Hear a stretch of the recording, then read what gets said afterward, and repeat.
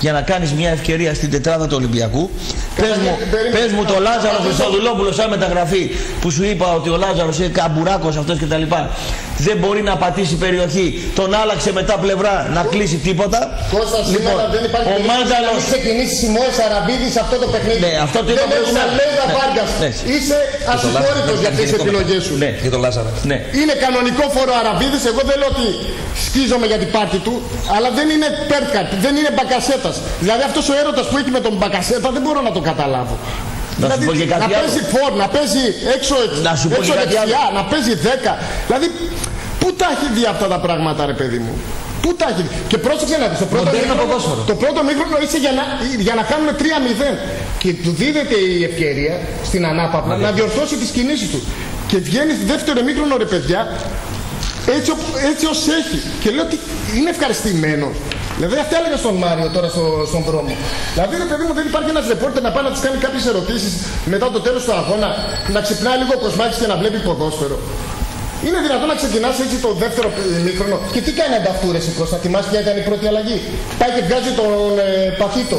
Είναι δυνατόν; Παναθηναϊκό. Ένα παίκτη που έχει τη, μονα, τη μοναδική ενέργεια που μπορεί να διασπάσει μια Ένας με έναν. ένας εναντίον ενός. Και εσύ πας και βγάζεις αυτόν και τι κάνει εν συνεχεία. Δηλαδή τα κακό σήμερα τα κάνει ακόμα χειρότερα. Εγώ διαφωνώ, άκουσα προσεκτικά τον Μαλάτο, αλλά σήμερα δεν πήρε κανένας μπέντο το παιχνίδι. Του έχει δώσει απ, απλόχερα το παιχνίδι στο πιάτο δικός μας.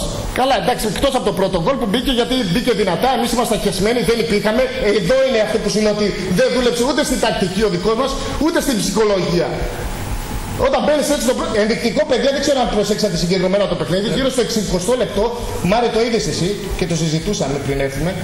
Ο Μάνταλο κοιτάζει προς τον πάγκο, σαν να αναρωτιέται τι παίζουμε τώρα, τι κάνουμε τώρα. Πριν γίνει το 2-0. Δηλαδή δεν ξέραν τα παιδιά τι παίζουν. Θέλεις να βάλεις το Λαμπρόπουλο. Ωραία, θες να το βάλεις. Βάλε και Σιμώε Βρεγίδη και παίξε με τρία εξάρια. Να πάρεις στο κέντρο. Ο άλλος έχει μόνο καθαρό κόφτη το Μιλουντίνοβιτς. Πώς πώς λέγεται το σέρβος; Του. Μιλιβόγεβιτς. Μιλιβόγεβιτς, ναι. Και έχει και έχεις από εκεί και πέρα δίπλα τον 1 και 5 που σωστά λέει 1 και 5 το παρουσιάζει ο Αλέφαντος στον Μάρτιξ που είναι περισσότερο 8-10. Άμα παίξει με τρεις κόφτε, του πήρε στο κέντρο. Πίσω είναι τα ζώνα του αργά. Βάλ του τον Αραβίδη να πιέσει να πρεσάρει μπροστά Και να φύγει με- και να φύγει στην κόντρα με πατήτο.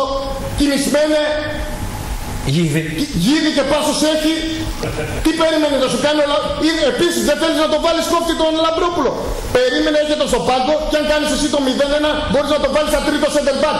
Αυτά που έκανε ο στρατηγός πέρσι. Γι' αυτό μάλια στη γλώσσα μας. Ο Πογέτ. Προπογέτα. Εγώ, εγώ σήμερα, ρε παιδιά, ανοίγα το τηλέφωνο του Πογέτ, μια ερώτηση θα τον έκανα. Μίστερ, σήμερα έγινε ένα παιχνίδι στην Ελλάδα, Ολυμπιακός ΣΑΕΚ, Θα απαντήσεις. Και ο άνθρωπο αυτό είχε στο πάγκο 90 λεπτά τον Σιμόε και έπαιξε με, με κόφτη καθαρό ένα στόπερ που λέγεται Λαμπρόπουλο. Που δεν έχει παίξει σε κανένα παιχνίδι δεκάδα. Για διώξιμο ήταν.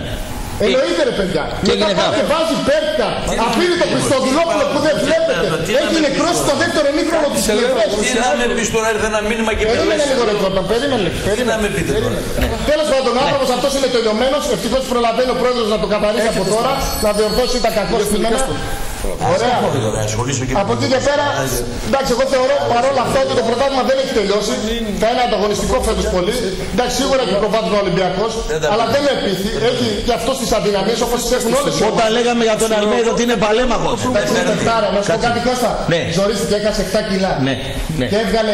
Εγώ δεν λέω ότι δεν Έκανε είναι. ένεση την. Σδημό, ο Ναι, τελε- κάνεις- τελευταίο Μαρία. καλό Αλμέιδα. Πότε Εσύ, είναι; Πότε Μαρία, θυμάσαι; εντάξει. Εγώ θυμάμαι 4-5 μάτια Μάρι, στην όλα, πέντε. όλα αυτά τα μπράντζ, άμα δεν έρθουν στην κατιούσα τους, άμα δεν τους πετύχεις μάλλον στην κατιούσα Δεν έρχονται. δεν έρχονται στην Ελλάδα. Σωστό. Θα έρχονταν περπάτω στο Όχι, πάω. όχι. Ο Σάσκο ότι υπήρχε περίπτωση να έρθει στα 20. Όπα, όπα, όπα. Λέγε. Ο Λέσκοτ Ναι.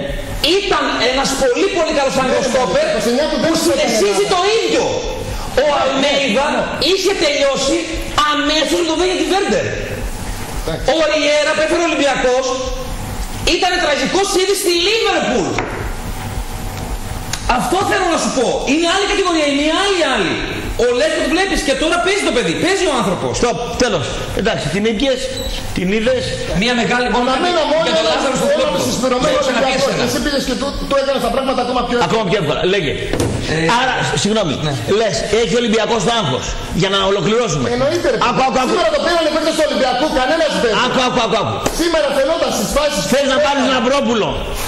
Το θέλαν περισσότερο και το πήραν. Τα- Άκου εδώ. αυτά είναι τα πράγματα. Η φιλοσοφία ποια είναι, η στρατηγική ποια είναι; Δεν είναι καμιά μαντάρα. Ο Άγγελος πώς τον αντιμετώπισε δηλαδή; Ο προπονητής του Αποέλ πώς τον αντιμετώπισε; Λέω. Αν έχουμε εμείς το σερβιτόρο με το άσπρο το πουκάμισο και το νεράκι τώρα στο χέρι.